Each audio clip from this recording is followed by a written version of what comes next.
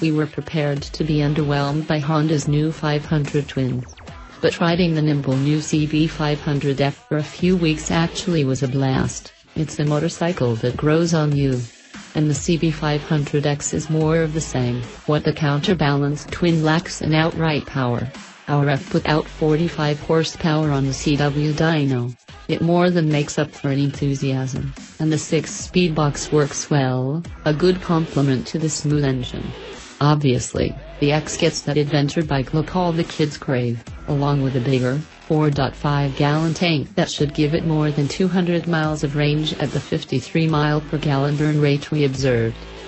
Underneath the extra plastic and windshield, the X is the same willing, surprisingly spunky bike as the F. For $500 more, $5,999.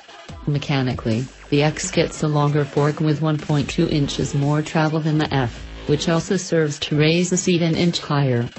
That gives the X more legroom and provides a bike that's more comfortable for taller riders, executive editor Andy Bornhop, at 6 foot 4, likes the X and its windshield. At 5 foot 8, I prefer the F and find the X shield blustery. Both bikes have 41mm fork tubes and the same 9-way preload adjustable shock offering 4.7 inches of wheel travel.